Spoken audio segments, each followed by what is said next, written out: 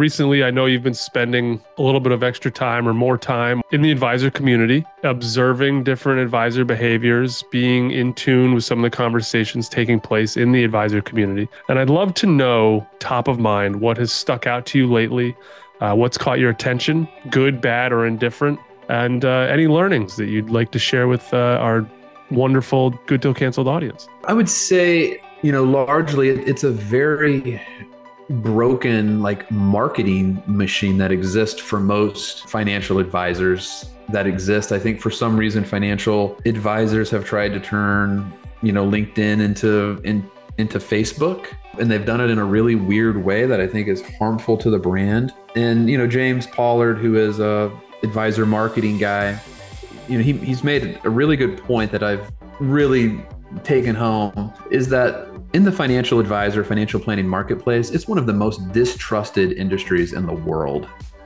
Right. So I think the most important part about any of your social media presence, it should really be about building credibility, building rapport, building trust. And you got to be really careful about putting material out into the world that might make you look a little bit like a clown. We're in an industry that is so distrusted to begin with that you have to be so careful. I'm not saying you have to be super buttoned up all the time and you can't have fun and you have to wear the three piece suit. But I, I think it's a really dangerous trend that some people are going down. You're the marketing guru. What do you think? That's just an observation that I have. I've always run, boy, I love what you just said. not that I'm a guru, the other part.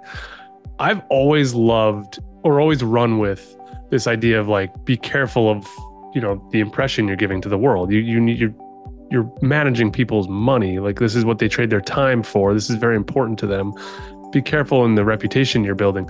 I've never looked at it from that angle, and I'm going to run with that now as a as a lead into the goofy part, which is what you shared about that Pollard shared, which is you're right. You're starting almost underwater, and why further anchor yourself and the industry and the and the the perception by not showing people what you're capable of, the seriousness that you apply to this whole thing, how important it is to you and them. And boy, that that's a fantastic point you made.